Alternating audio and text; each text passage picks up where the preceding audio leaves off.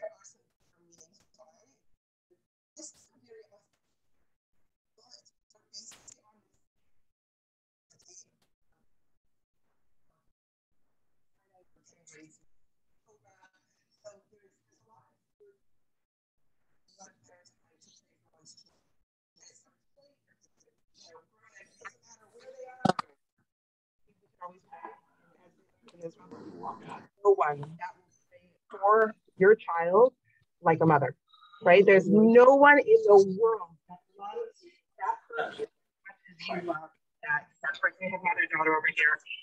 The love. so it's, it's so true. It's so, so true. So it is an opportunity. I'll send, you could send your mother the, the prayer and she could pray it for you in English or in Hebrew. So I, I actually did not send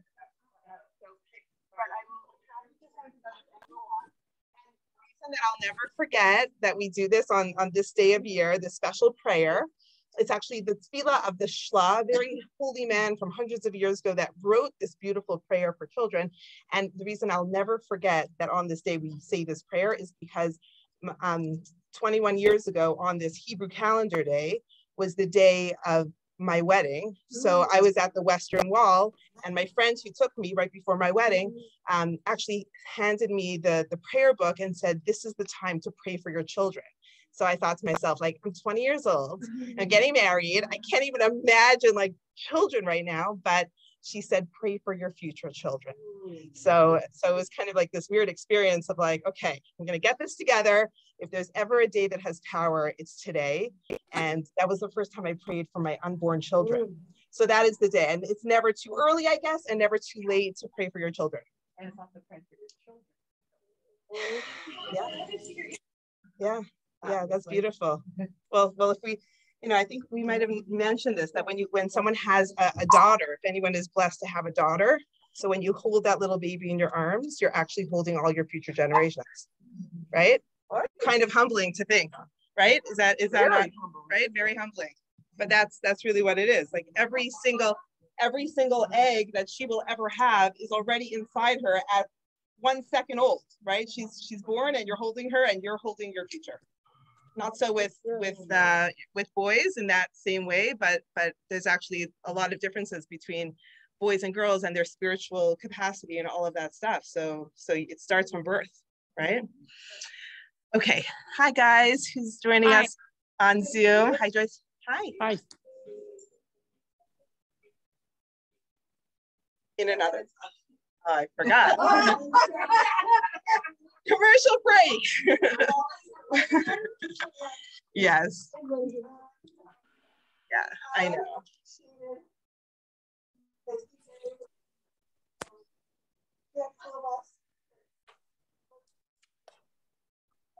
Open your hearts and your wallets dreams because this community all about so much.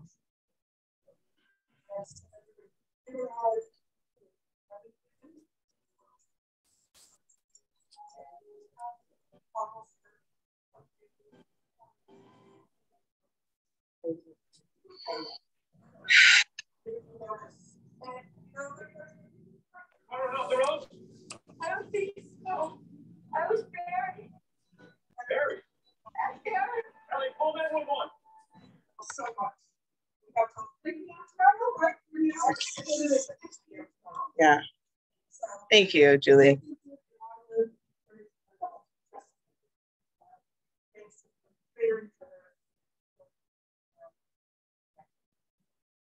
you. Yeah. Yeah. Julie, Julie and I keep yeah. Oh. Um, but so so Julie, thank you. And actually, the chapter that I'm going to be teaching today in our book Everyday Holiness is the chapter on um, in Hebrew we call it nidivut, which is generosity. So I wanted to tie it in because this is the oh. energy in the air right now. And and Julie, I mean, we go between being like uh, it's the highs and the lows, and like we ask and we're rejected, and then someone someone out of the blue gives, and it's like it's an emotional roller coaster of being a part, just like being a fly on the wall in people's spiritual journeys towards giving.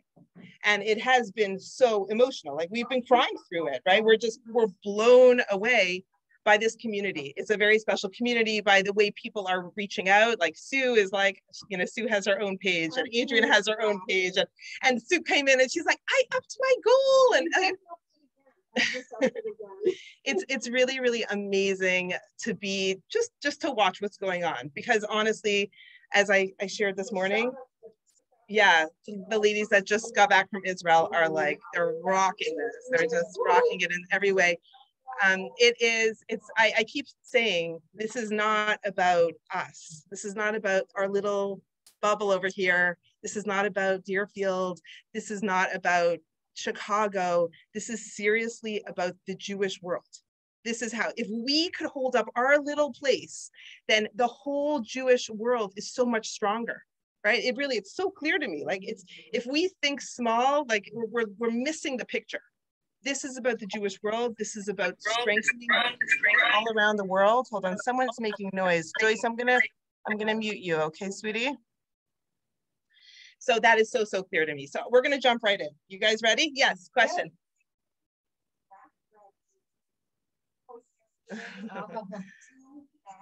oh, thank you. I don't know. I don't, I don't know what video you're talking about. You're talking about the video from the trip? Yeah, you're so sweet. Thank you. Oh, thank you. Well, it's it's really who we all are. Um, yeah, I'll send it to you for sure. Okay, well, let's just start with a test, okay? Before we even start our class, yes? Oh, yes, thank you. Okay, so one of you.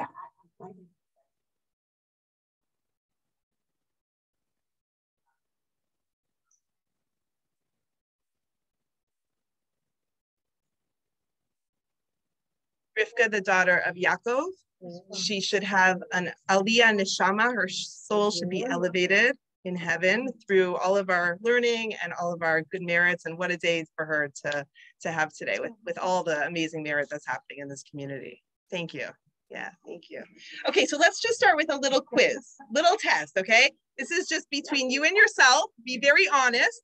It's a living and sorry, a giving love assessment. Okay, let me just see how many questions I have. We're going to do this real quick. I have 30, like about 30 questions. Okay, so let's see. And this is you and yourself. If you have a piece of paper, you might want to do like tick, tick, tick, tick, cross to make five. Okay, if you have a pen and a paper, or you might just want to count in your head. Okay, let's see where you fall. And this is between you and yourself, just to know where you fall and how much work you still need to do in this area. Okay, let's go. You ready? You guys ready? 10 or you're counting? Counting? Okay, but don't lose track. Okay, one, I feel comfortable. You ready? Okay, I feel comfortable bragging about someone.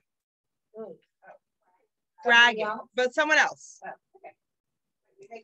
Yeah, I want you to just, we're doing 30 questions. Let's see, let's just be honest where we where we fall on this. Let's be really honest. Yeah, um, Julie has pen, paper, if anybody needs. Yeah, totally, totally. It's just a yes or a no. You guys got this. Okay, two, I feel positive when someone brags about himself or herself. I feel positive. I'm okay with someone bragging about themselves. Well, that. someone wants to share, right? Your best friend's child just got into Harvard and your child didn't, or whatever. You're oh. okay with that. You're okay with someone else's success. Yeah. Okay, three. Thank you. Thank you so much. And there's a bunch of pens. You could just do it on a little corner of your paper. Just, just if it's a yes, give yourself a little tick. You're gonna count them up, okay? Number three, I feel positive towards someone else who is bragged about by another person. I feel positive about someone else that's bragged about by another person. We don't like that word brag. Insert your own word. I am happy for someone else. Okay.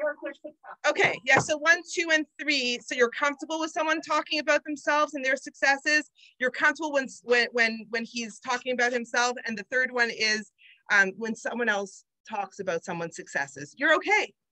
You are feeling okay with that. Number four. I give gifts without expecting others to feel obligated. Number five, I give gifts, gifts and do not remember I gave them.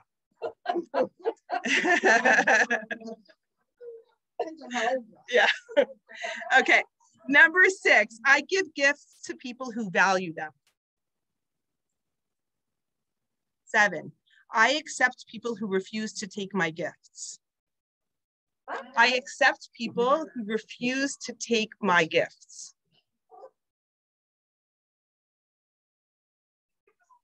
I accept people who refuse to take my gifts. Number eight, I give compliments to others easily. Number nine, I express love easily and freely.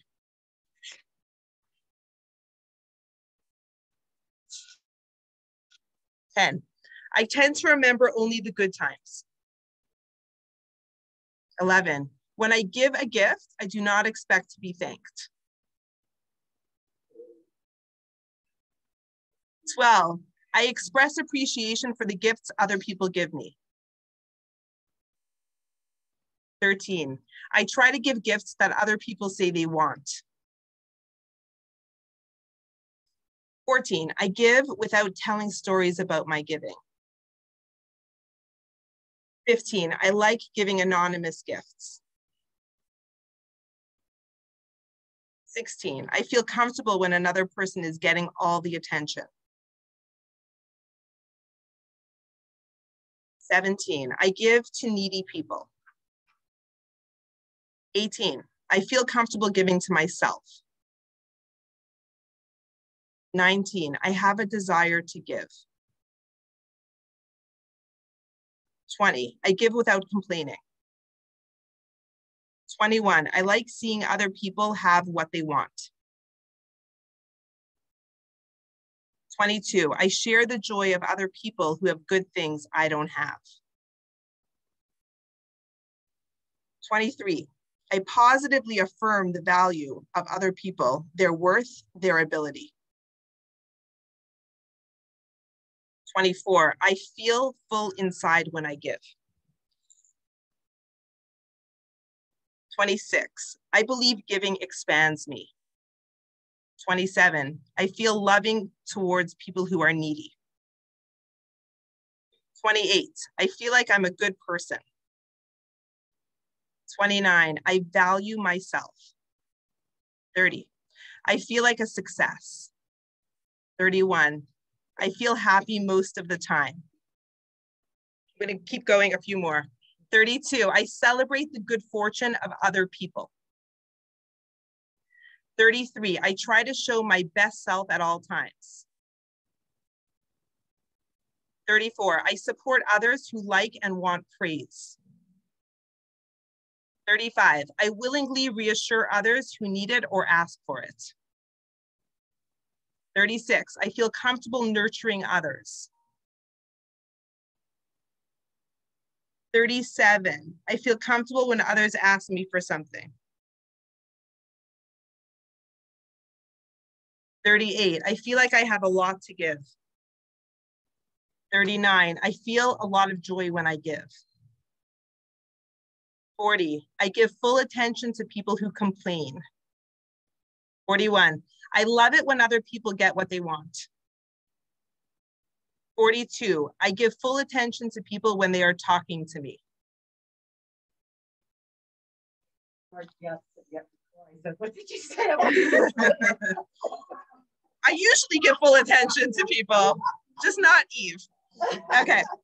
Um, 43, I give praise to God for my blessings.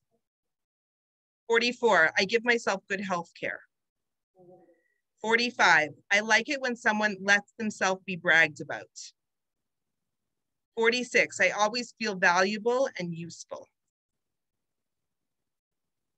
47, I give blessed, I feel blessed to be able to give. 48, I give gifts to persons whom I don't like. 49, I am glad to be alive. And last one, 50, I praise God for the gift of life. Okay, so let's let's let's um just i mean you don't no one needs to tell me how they did but i think it's important for all of us to know where where we fall with our giving because god put us in this world to become givers. We were born complete takers and by the time we reach the end of our lives we are supposed to have transformed ourselves right? It's all age appropriate. Like it's normal for a two year old to be totally narcissistic, but a 22 year old that can't see outside of himself, it's a problem, right? And as we get older, things become more clearer to us what life is all about, what their what their con- contribution is to the world. And as we go on through life, we are supposed to become completely givers. We're supposed to become givers we're supposed to flip that that going from a taker to a giver okay things are supposed to transform so generosity okay and we're going to just open up this chapter whoever has the book you could join with me i don't know if it's a different page but i'm on page um, 150 in the book Wait, is there a scale or is this just it, it's like up to you i mean Oh. if you like only had 10 chances are this is an, an area that needs to be worked on so if- out of 50. yeah, it's out of 50. If you have 25 and up, I would say you're doing okay, Okay. right? I, it really, really depends on where you're at also in your life. If if if I had my 12 year old child here and they would get 10 or 15, I think that would be really good for that age. It really depends. I, I just like sitting in this room, I, I know the people in this room, people have been evolving over decades of their life in their spiritual journey. So I, I know without even looking at anybody, I know that some people got 40 to 50 checked because I just know that's that's how far they are on their on their journey, right? It's not about them. It's so much bigger. So I just, I mean, was that telling for anyone that little exercise? Like you guys kind of see like, okay, maybe I'm not so happy for other people. It's that's a muscle that needs to be worked on. It needs to be built, right? We want to be happy for people right? But really what it boils down to, if I could, my, my two cents is that if we can't be happy for someone else, there is, there's a hole inside of us. There's a little bit of insecurity that needs to be filled. Because, and, and if we if we can't be happy that someone else has more than we have, that's a lack of faith on on our part. It, it just means that we think we're we're weak in our faith because it means God, you gave me the wrong deck of cards. Hello, I did not get my part. I did not get enough, right? Where Pirkei Avot, ethics of the fathers, teaches us that he who is rich, what what is it? He who is he who is rich is happy with his lot, right? So, so it's kind of it's all it's a personal experience, right?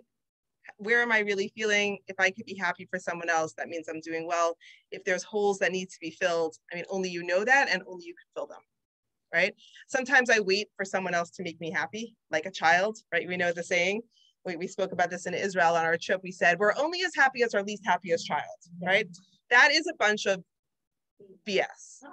I mean, oh, if, sorry, Crazy when I said that. No, but that's, I mean, I say that a lot and I feel that a lot. If one kid is not doing well, I'm a mess. And really, is that, is that, is that, am I my child? No. Am I my marriage? No. Am I my, you know, my, my aunt that hurt me or whatever it is? No, you need to find your inner strength that no matter what storm is happening around you, you are solid because it's you. This is you. You cannot change your environment. You cannot change your circumstances. You could only change your response to it right? So it's just it's literally like tethering yourself in faith and and in self-assurance and just loving yourself. A lot of it starts from love like loving yourself. Then you could love others then you could love god right? We spoke about that last week.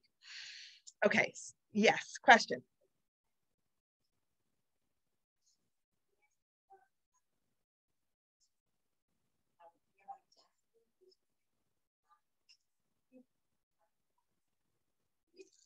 I'm going to quote him a bunch now. Yeah. There's a lot about his work. So Rabbi Dessler lived, I mean, do you know, do you know when he lived? But I would, I would say probably a couple hundred years, right? Okay, so a couple, yeah, yeah, not a thousand. The Mussar, the Mussar movement has been going on for well over a thousand years, but he's a more contemporary um, writer. And what's his work called? Is it Path of the Just? Strive for Truth. Okay, so I'm going to quote him a lot, but yeah, he he really brings it to light in a way that is very tangible. So thank you, thank you for that. So so let me just start with with the story. Um, many of you are familiar with this book, right? Esther Jungreis, The Committed Life. If right, you Don, this is how we connected on our interview over this uh, teacher. But if anyone wants to do a book club on this book, it's it's one of my favorite books. It's an incredible book. We could we could learn it and read it together and discuss it. So on her chapter on generosity, um, she starts with a story. And the story goes like this. She is in Brooklyn. She uh, has anyone here been to Brooklyn, New York? Like, you know, the heart of like the Jewish community. Yeah, you're from there. Okay. I'm I'm like scared when I go there. Seriously, like the few times I've been there, I'm like scared. Like it is like so intense over there. Like what an intense like Jewish hub. Oh my goodness. So I don't know what it was like growing up, but if I go even just to shop, I'm like so intimidated. Like, am I allowed to come into the store? Is it okay? Like, so so Esther Jungreis, she's a Holocaust survivor, survived Bergen-Belsen. She's a real like chutzpah, you know, like I I- like holy chutzpah, you know, like like she just like move out of my way. So here she is shopping and fighting the traffic. Oh, Oh, mm. four feet tall, but like move out of her way. Yeah, she was like, you did not want to mess with Rebbetzin Young Jungreis. She's a legend. So here she is fighting the traffic. She has her to-do list. She best shopping, best Jewish shopping is in Brook in Borough Park. So so she she's finding she's like trying to find her way, and then finally she she finds her parking space on 13th Avenue, and that's where all in the middle of all the shops. And she is she gets out. She's walking. She's doing her. She's walking. Laura, she's doing her thing, and um, and she sees on the side of the road there's a woman kind of disheveled not dressed very nicely turban on her head clutching an open pocketbook in her hand. And as people are walking past on this very busy intersection she calls out tzedakah tzedakah. We saw that in israel at the wall like a lot of beggars right? Charity charity. So um even without thinking her gut is to pull into her pocketbook and to put a few coins eh, to, for this um, for this beggar. And because this is a pillar of Jewish life, and it's something that Esther Jungreis says she grew up with that. Charity is like a pillar of, of everything. It all starts with, with giving. And it was before the high holidays, and there's so much, hub, you know, so much energy there. And so she just, without any efforts. And she even noticed that the children that were walking by on this busy street, everyone was giving, right? There's that energy because it's not, it's not a question. It's like this is part of our life. We give, right? So she the story goes on that she she notices that this um this beggar, this woman, she she kind of like had this expression on her face like, okay, enough is enough. I need a break and she put, she closes her pocketbook. She leans against the building, the, the building wall, and she starts munching on some crackers. And then as she's kind of like, she's not begging at the moment, she's having a snack, having a break. Another beggar walks down the street with a, with a, you know, with his hand open saying, charity, charity. So Esther is just watching this and she sees, you know, and, and you would think that's a competitor, right? Like, oh, we're gonna get afraid over here because scarcity model, right? Not enough for everybody.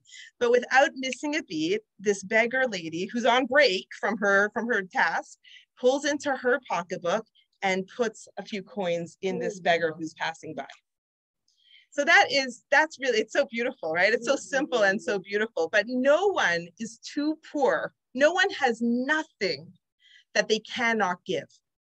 Now the story goes on. This is so let's take that story and take it 2,000 years earlier in the times of the Gemara. So we have the story of Rabbi Akiva, the great sage, right? He became so great. He was a very simple man, and at 40 years old, he transformed his life and he found he started studying and he started evolving. So the story goes so his wife was the princess, the daughter of the richest man of that time, Kalba Savua at the time. And, and she gave up everything to marry this pauper who wanted to de- devote his life to studying Torah, right? So they were really living in poverty. She grew up in the palace, she grew up with everything, and she gave it all up. So now God was testing them. So knock, knock on the door. And who was it? Elijah the prophet. You know the story? Elijah came to ask them if they had anything to donate. He was disguised as a beggar. And with his hand open, he, he looks around and he sees this little, this little, I don't even know what to call it, a hut with no possessions, no table, no chairs, nowhere to even sit. All there was was a little hay in the corner that was their bed. That's all. They lived on nothing but love and Torah. They were such ideal, bad, ideal. I don't even know what to describe it as. Like they just, you know, they pure intensity and devotion towards God, and that's all they had.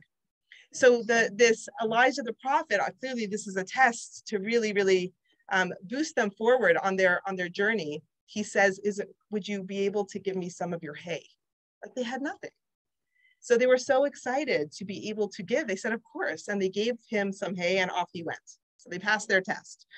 And um, the question goes, what if they didn't have some straw, some hay? What if they had nothing to give? Right? It's a good question. Like this was obviously an opportunity for them to look around at their very, very humble, meager abode and still still feel like they had the opportunity to give. Because if you think about it, even someone that is poor has the obligation to give. But let's not use that word obligation. Let's use the word opportunity.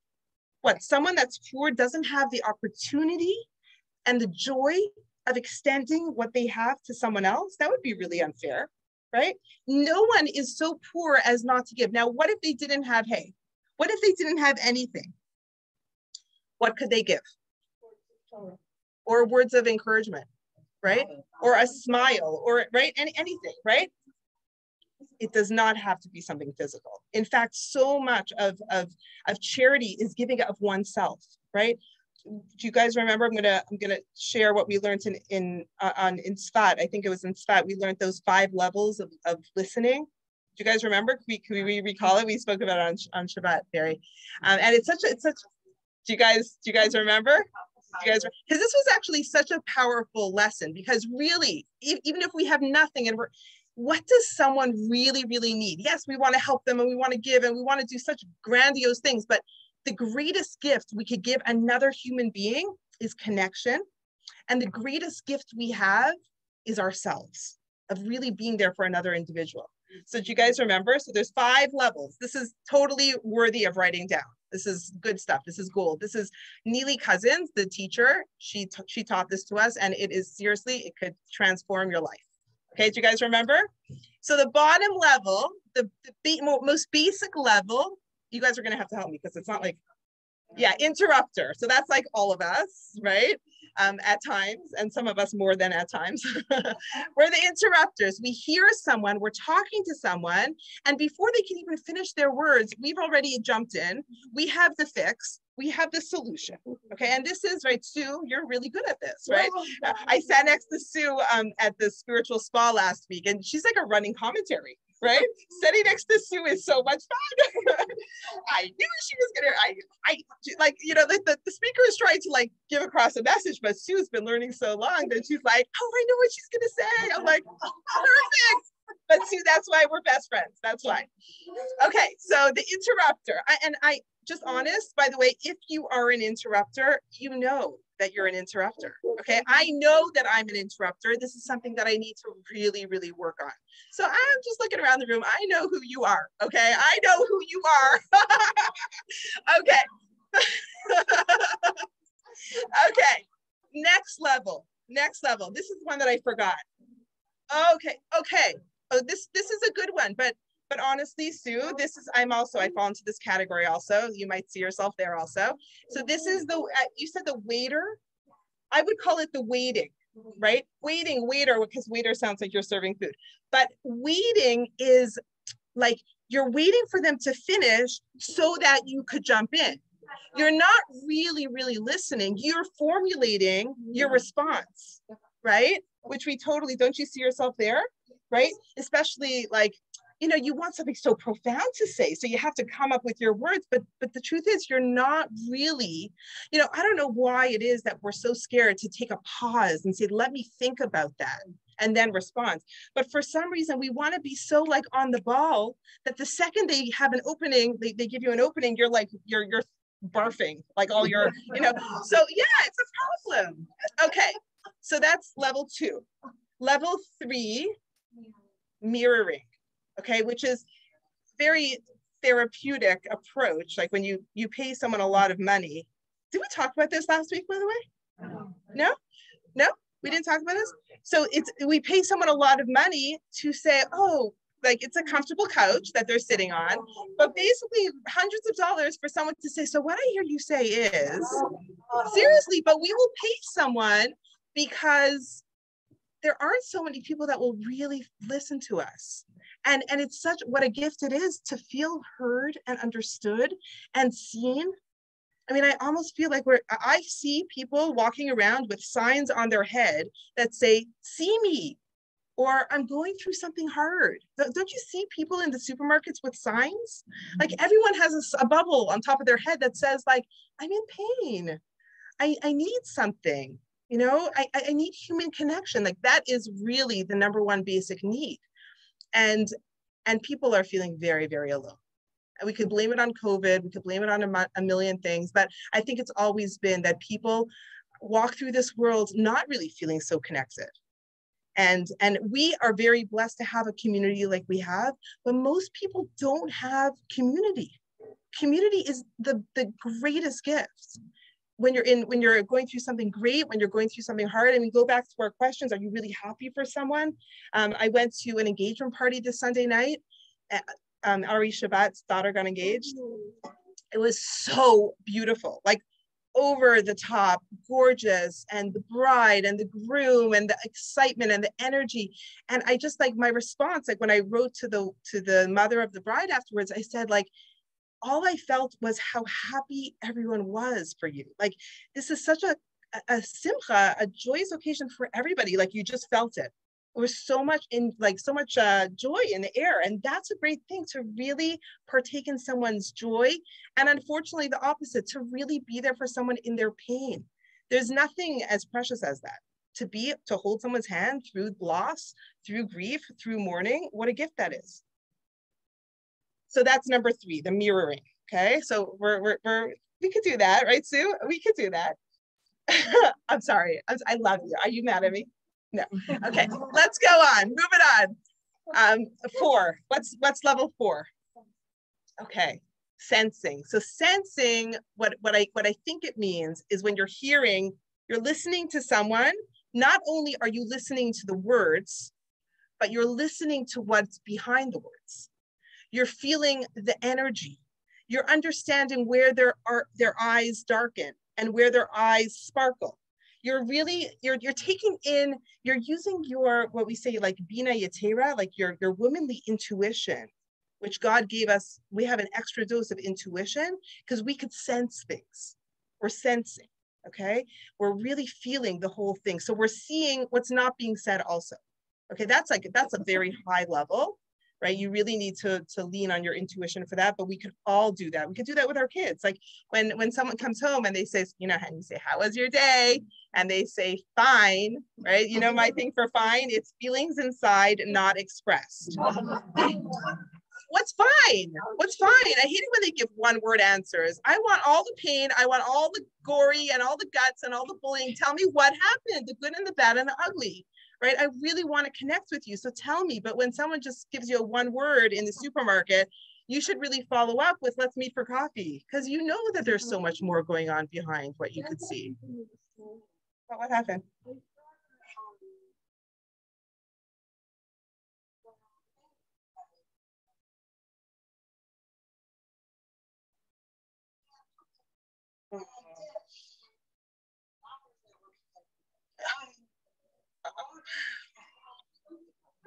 Right.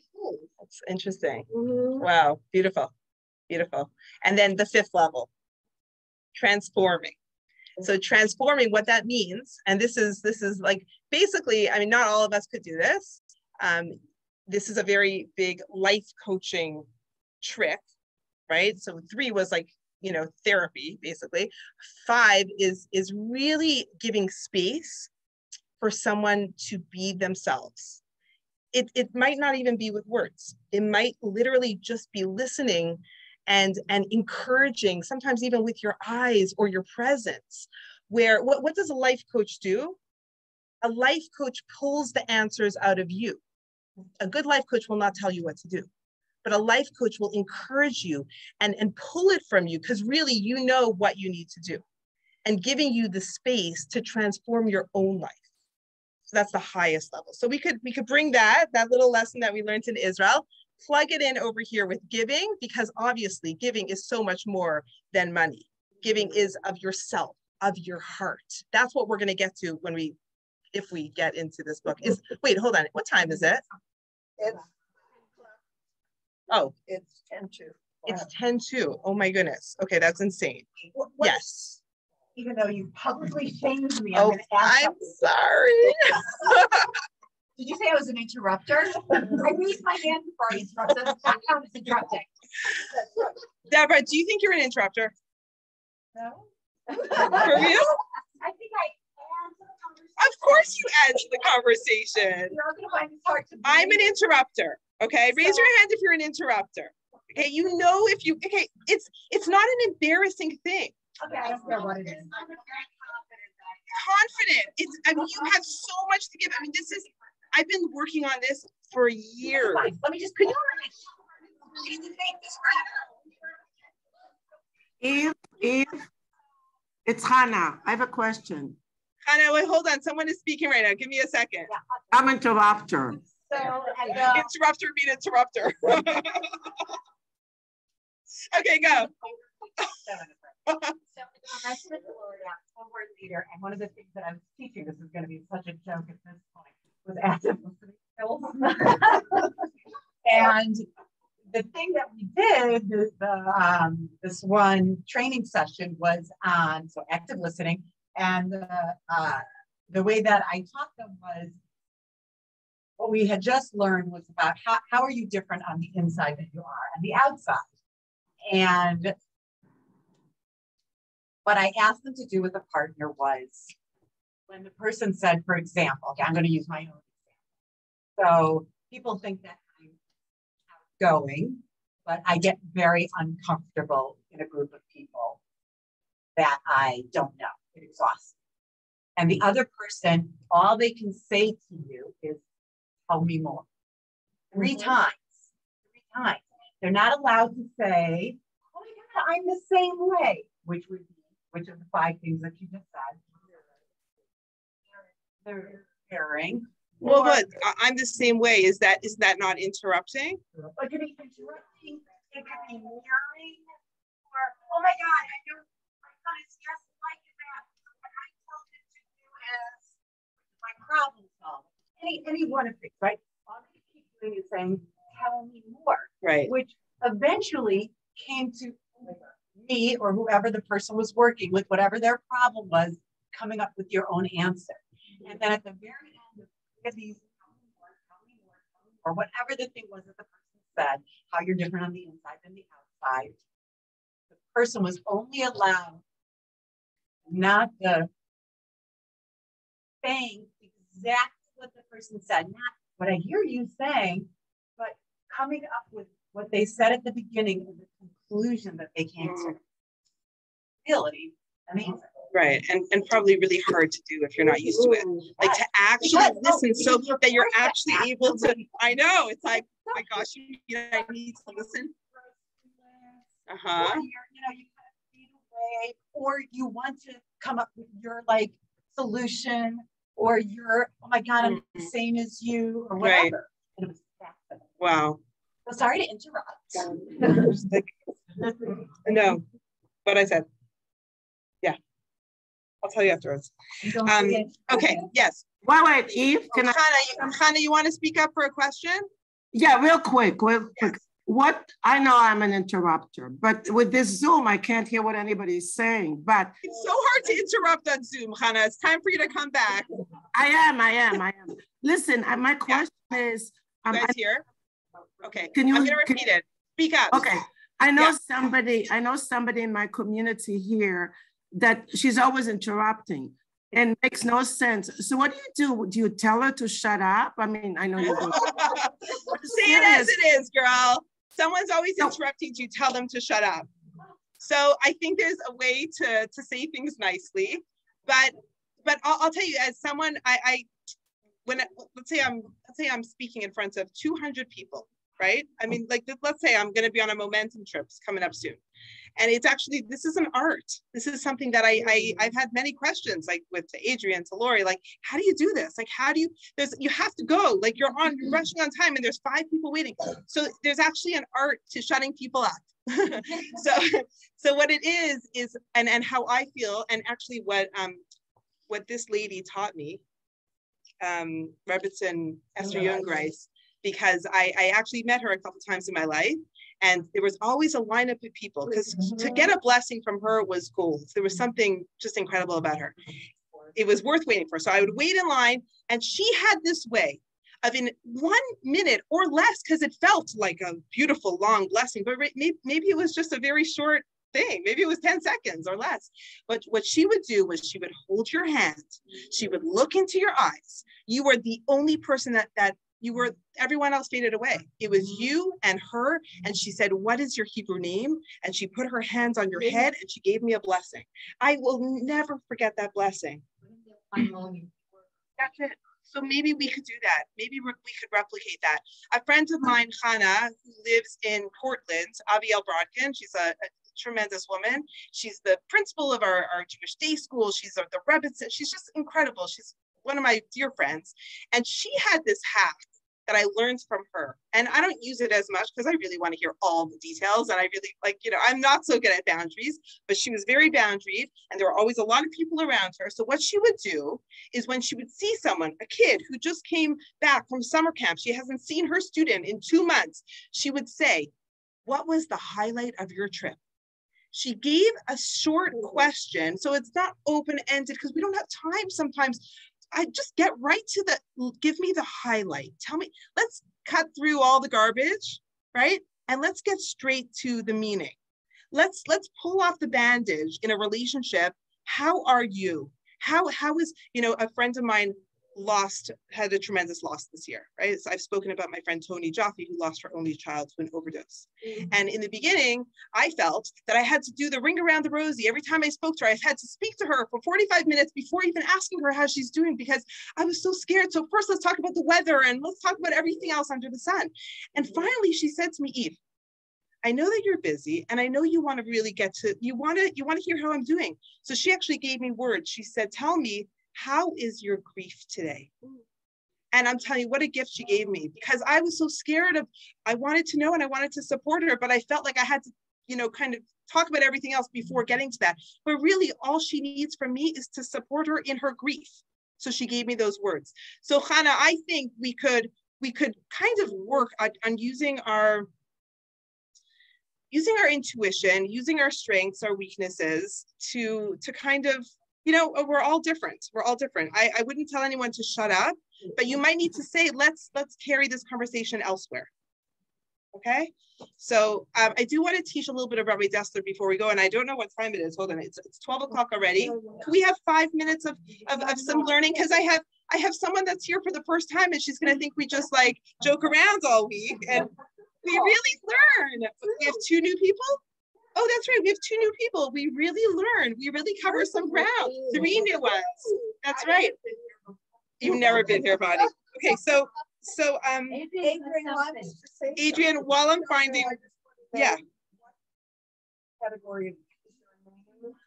Oh, what are the is that the levels of, of listening, right? Levels of listening. Okay. And, and really, I mean, but it's so much more than listening. It's the greatest gift right? It's the it's the levels of giving i would say. By the way there are other levels of giving which we've spoken about in the past. Does anyone want to run through the levels of giving? Because they're like when we're talking about charity if we could go back to that form of giving there's actually many levels. Does anyone know this i have eight levels over here. Does okay let's just start should we start from lowest to highest or highest to lowest? What's the highest? Giving. Okay, so anonymous giving is the highest level.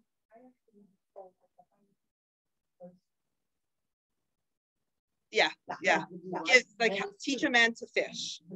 Give someone the tools to get on their own feet. So I'm just, I'm gonna, I'm gonna tell you what Maimonides says. I'm just gonna spend two minutes on this, but this is a whole class of its own. So, um, so that that one, teaching a man to fish or giving a loan for someone to get on their feet, right? Finding someone a job, right? Something like that. Helping someone in an honorable way. So that's that's level one.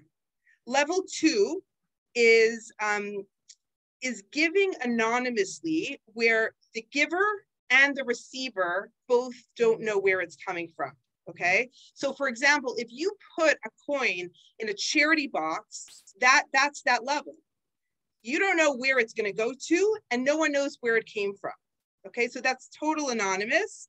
Um, the third level is when the giver knows, right? And but but but the, the receiver doesn't know where it's coming from. So for example, the giver, for example, puts money in an envelope and slides it under a door. Okay, that's like privately, and that is there's no embarrassment on the on that on the receiving end. The fourth level is the, the the getter knows, the receiver knows, but the giver doesn't know. So, for example, um, like someone that has um, like a bag on their back that says "Help yourself," okay, which probably is not so common but meaning so meaning the, the receiver knows where it's coming from. I mean there must be another way of doing this and i, I'm, I can't think of an example. Can you think of an example? The little So- oh oh that's that's a good one. The challahs that is a good one. Meaning the receiver knows like they know that they were baked it probably in my kitchen right? I have no idea who comes and takes. I just know when judy tells me you need to get moving if you need to make another batch of challah i'm like okay great so but that that's true. So people know where it's coming from but but i don't know who's taking it. I don't want to know. Okay good. Um number five fifth level is when both know okay? So so there's you know someone's asking and someone's getting and you don't shame him but that is a level. That's level five. Um, number six going down okay? Six is someone has to ask which is kind of embarrassing. This by the way this this uh, campaign that we're doing is so out of my comfort zone i can't even it's the first time that i'm fundraising for any cause and the truth is i never felt i've been a, a part of so many organizations before and i've had jobs where we had to fundraise but i actually never felt I never felt the cause was worthy of me putting my relationships on the line. I never felt like I could ask, but for the very first time, I feel like this is so what we have over here is we could just keep going and we could do so much more. So it's the first time that I feel like this is worthy. It's not, and it's, and once you get in your mind, when you really believe in a cause, by the way, you you feel like when I'm asking friends today, friends in Portland, friends in Denver, my mm-hmm. family in Israel and South Africa, I'm saying, guys, you want to support this. I'm going to give you the opportunity to partner with me in this amazing work. And I really, really believe it. It's the first time that I actually believe what I'm saying. Like this is really mm-hmm. worth investing into. So that's that's an incredible thing. but that's when both knows. Giving after you're asked. Okay. Um, number seven is giving less than he needs like someone says and i've had this conversation many times but by the way last last night i made a i made a big ask from a friend of mine from philadelphia and she's like how much do you need and i said 15000 and she's like let me think about it and she got back to me i mean i've never done this in my life i'm like petrified i'm like peeing in my pants i'm like! And she got back to me and she's like we really believe in your work and we're going to give you 5,000.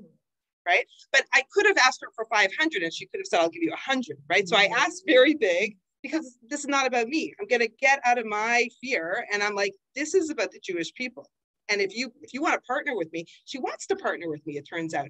So so I guess that would be level seven. So you you get an ask and you give, but less than you're asked for or less than is needed but but that's still huge huge huge huge um and doing it with a smile okay so you're giving less like you know i'm not going to give all that she said let's see what happens maybe next year we'll up it right? And- But that's the biggest smile. Like it's so encouraging. And then number eight is giving, but with a, a and who knows Yiddish here, like a verbissene punim, like like a bitter face. Like I could see my grandmother saying, like a verbissene punim, like just like you're not like you're not fully happy or oh, okay like let me okay let me just get my pocketbook oh, okay fine when is this charity event over? Like whatever it's just like you and you feel it it really really comes across. How you give makes all the difference. When it comes with a i could only give $18 right now but i i'm cheering you on and i'm so proud of you. That it, it's literally it gives you it's it's like uh nourishment. Yeah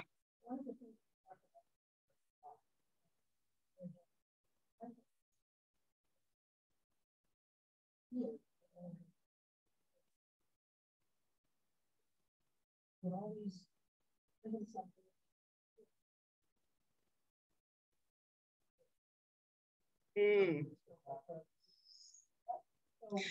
Some granola bars.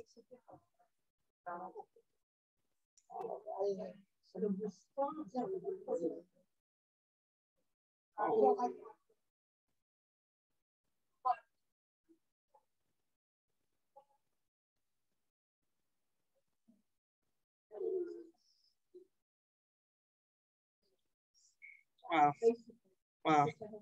Yeah. I got So around, good. I got around that, I felt that, feel that same way, but I have McDonald's gift cards in my. Oh, wow. um, phone. So when I'm driving, at least it's going towards food. Three gift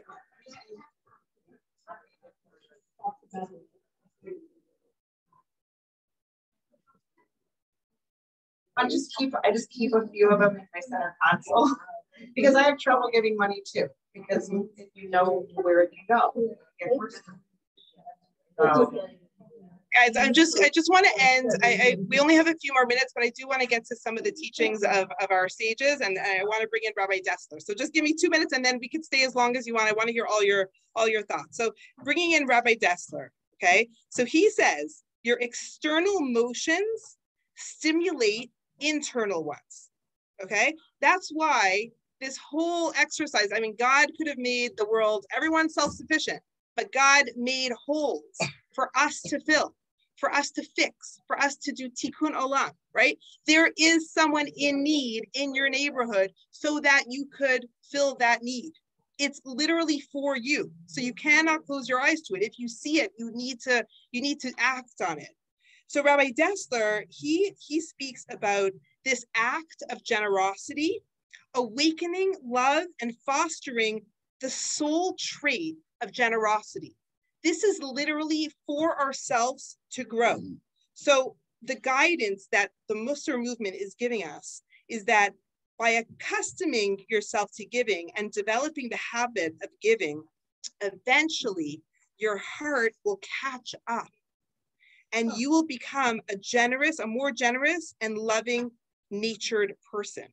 So what he's saying is our heart follows the deed right? I think Neely Cousin spoke about this. Like if you, if you're, um, what did she say? She said something on the trip about how do you be like, if you don't give, you're not a generous person. If you don't observe, you're not an observant person. If you don't, um, I don't know, just X, Y, Z, she kept giving ideas of like, we want to be, we want to have lots of good traits, but how do we actually, uh, how do we take a trait, an idea, and bring it into our lives. So he is saying here that the, the heart will follow after the deed. So you might not feel like you want to give. I love how Julie put it. Give until it hurts a little bit, mm-hmm. until you feel it. Then that, you know, if it's so easy come, easy go, you're not feeling it. And this comes back to everything else in Judaism, like let's say prayer, for example. If you didn't feel a prayer in your heart, you did not pray. It's not lip service. It's not just like doing a job. It's, it's letting it transform you. And really every single observance, every single mitzvah, every single good deed is supposed to transform our soul. So he is saying over here that the, the heart follows the deed. If you want to become a generous spirit, you just have to first do the action. You might need to do it a thousand times over until you finally feel like it's it's taking taking it- it's really becoming part of you, right? That's why if you have a thousand coins, you should rather give it to a thousand different charities than in one lump sum, because we want to like, you know, to kind of exercise the muscle of being a giving person. Okay, so um, lots more to say. I'm, I'm really skimming through, but I really recommend reading this whole chapter. The Hebrew word for giving, okay, binatnu, is a palindrome. Thank you so much. I know you're going straight to the airport. It was so nice to meet you. Thank you. I'll see you guys. Thank you. Safe travels. So it's a palindrome. That means that it could be read backwards and forwards. What that really means, what that is telling us, what is it? When you give, you get. Maybe not financially, right? If you're giving money, what are you getting back in return? Right? Heart, pleasure, joy. It is so great to be on the on the giving end. What a joy that is, right? And and that is the flow of generosity. That has to be the flow because really, really, to be a giver, you know, one of the questions was, could you receive? That's also a big part of it. You giving sometimes is receiving.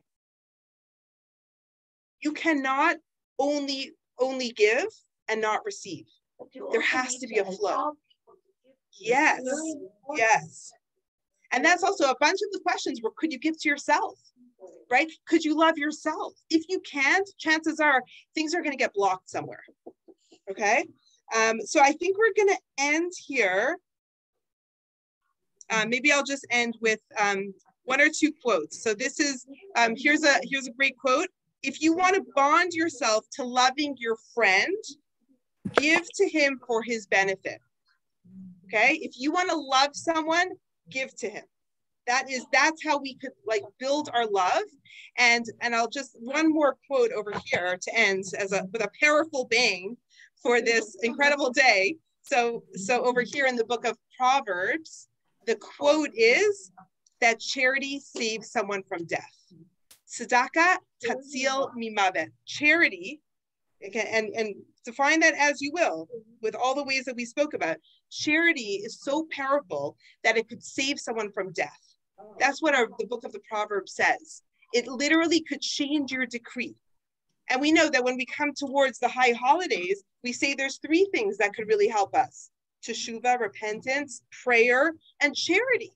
Again, and, and I can think of a dozen other ways that the Torah tells us how, how important charity is. We have, there's three pillars that the world stands are, on, and one of them is charity. It is so, so fundamental. It's so important in how we hold our communities together. Charity. So, so this week, um, it, it just so happened to be, just so happened to be that not only are we doing our charity campaign, but literally every other organization in Chicago is also doing their charity campaign. Literally every school, the, the Kihila funds, my son's yeshiva, da, da, this, that, whatever. I must have gotten a dozen requests for charity. And it's just so interesting because I almost feel so now, okay, and, and they all finished yesterday. so I'm like, okay, and here we are, L'chaim Center, like we raise our call, yay, you know. And I just feel so I wrote to my friend, I said, I know you've probably given a dozen times this week because we all have extended ourselves for every institution. Mm. And people just said, Eve, like, what a pleasure to give to be able to give. And I said, like, I'm really embarrassed to ask you because I know you probably gave to the yeshiva and you probably gave to the chesed funds and you probably gave to all these things. And, and people are saying, no, this is what we love doing. So it's just so beautiful to see the chesed and the energy in the Chicago community. Chicago is known for generosity, and you truly, truly feel it in every way. Um, we we still want to have um, um, what's it called, like a like a class trip, so to speak. Do you remember? Uh, Regina was going to help me. We were we were thinking during the summer to go on a class trip and go visit all the charity organizations, like the soup kitchens and the Chesed Fund and um, the Gemachs, right? You guys know what the word Gemach is? We spoke about that. It's hard to say. Gemach is an acronym for the Hebrew term Gmilut Chesed or Gmilut Chesedim, which means loving kindness. And there are about a hundred uh, organizations, free loan places in Chicago for just about anything that you may mm. need that is just free, just, just from an outpouring of love. And I'm really proud to be part of this community. And I think a class trip, so to speak, will be great in really understanding what we are sitting on here, whether it's helping support brides that need help, or, or I mean, there's a tablecloth gemach, mm-hmm. there's a wedding gown gemach, there's, I mean, there's there's a chair gemach. Like who knew? Um, there's so much available in the city, and it's just out of an outpouring. Well, there there is a list. Yeah. Oh, totally. Yeah. There's there there are dozens of places that are just like run by people that just want to give. Yeah. Yeah.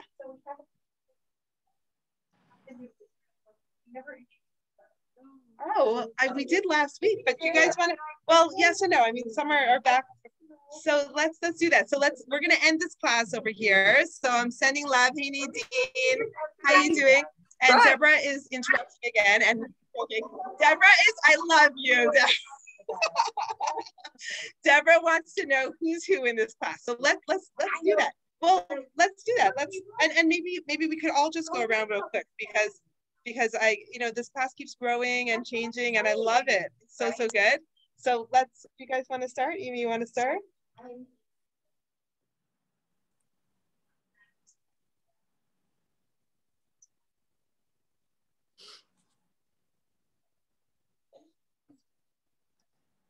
Wow, tov. and and um, Amy's son's gonna have a bar mitzvah here, so stay tuned.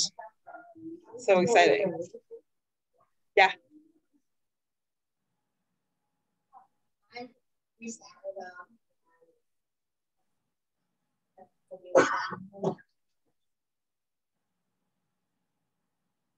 Yay!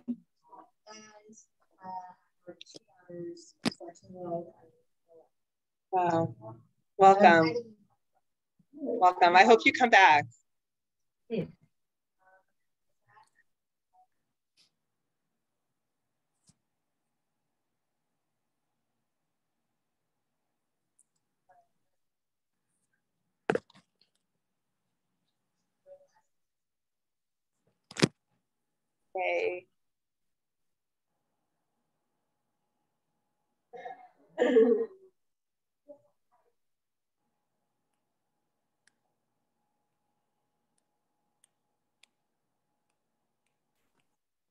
Amazing.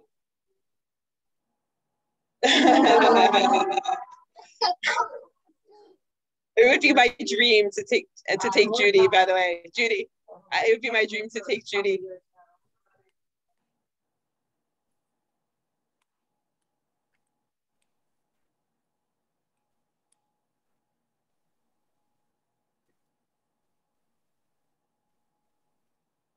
Know.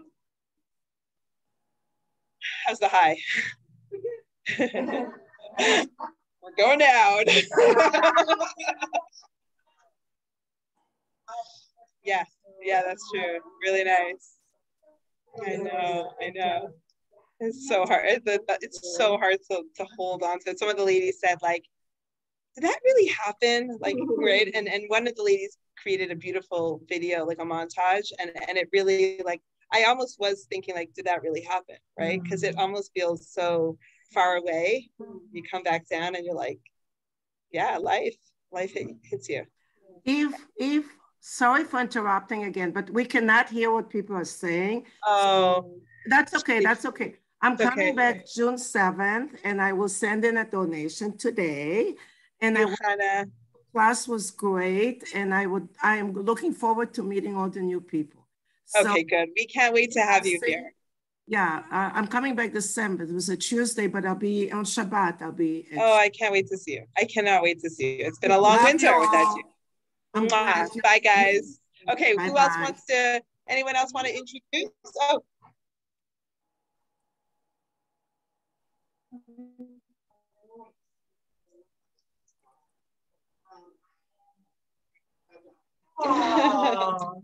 It's so nice. Grandmother. Say the prayer for her if you didn't already. Do you want me to send it to you or do you have it? It's so beautiful. Yeah. So I'm happy to, I'll put it on our chat. Okay, I'll put it on our chat. um, yeah, and it's never, I mean, even if we miss that exact day, we can always pray for our children. Well, it was actually yesterday, meaning like it's like it was it's supposed to be the day before Rosh Rosh Chodesh Sivan, but I really believe it's still the energy. Anytime this week, it's really that energy. Mhm. Yeah, yeah. And by the way, so whoever comes tonight, we're going to be talking about the energy of, of this month. Of well, we'll move it into my house. We'll move it into our house. Yeah.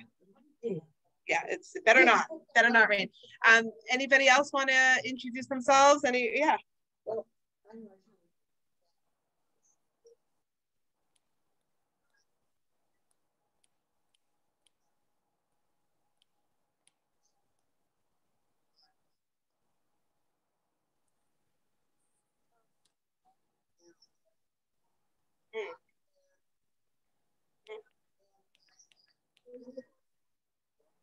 Right.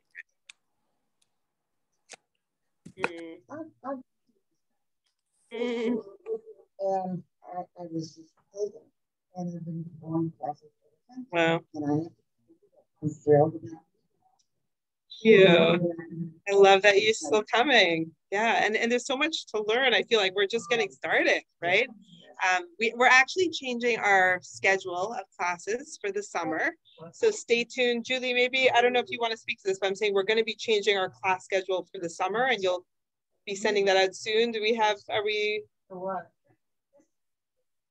Yeah, I'm going to keep going on this Tuesdays. Yeah, we're just going to keep going with this because it's going good. But but there's going to be some more classes and some new classes. My husband has a new class that's really interesting on Thursday nights. It's called Headlines, and um, every week we'll speak about different contemporary issues in the Jewish world. That so whatever's like hot off the press, um, he's gonna he's gonna try to give perspective on. So that's a really great class. That's Thursday evening. It's available on Zoom and in person here at the center. Um, and then we have some other new classes that are happening?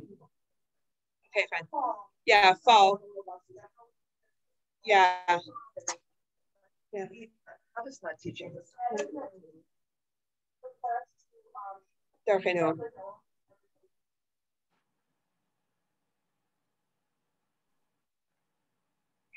and Lauren, class on Thursdays. Thursdays. Love more of you to come. So we're, we're probably gonna change, we're probably gonna change that around a little bit. So we're in con- conversation with Laura about that.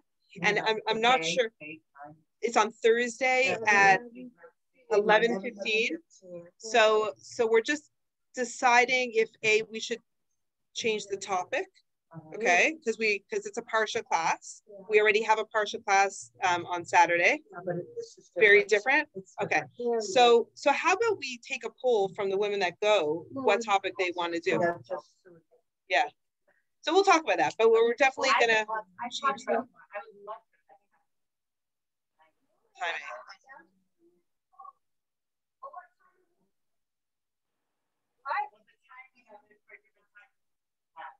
Right. They, they should go. They're, Mm. yeah, right. We're also, yeah, we might switch it to Zoom if we don't get enough people in person. So let's, whatever, you guys are the rah rahs, so maybe you want to get some more excitement about it or tell people about it. If we get more people, then she'll come in person, but that's, that's kind of where, where we are with that. And then David and Ali will continue teaching on Zoom and, um, yeah, we're open. We're also very, what? We're, we're also open to, to new topics. So as, as we, you know, change things around for the upcoming uh, season of fall, like we're probably going to add, maybe we'll add a teacher. So if anyone has something in mind that they want to learn, we're very, yeah, open to it. Which goal? This big fundraising effort? I mean, the, the big goal is 275.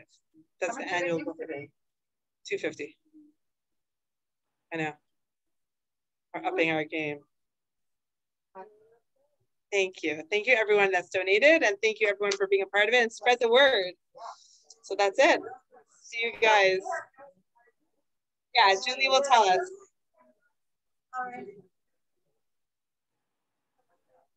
That's amazing. We're at 38%. That's huge. We just started, I mean, we've been working on it for a long time, but, but we have another day. Yay.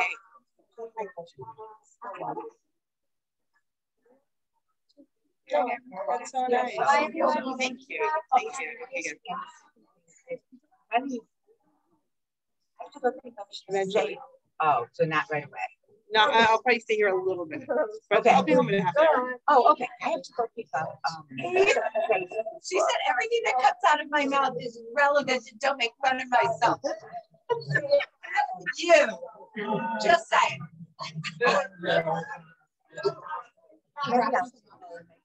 Yeah, I need. So, so after I. Yeah. Are you sure, are you sure none of these are the ones? They're, they're, this is, all. I want.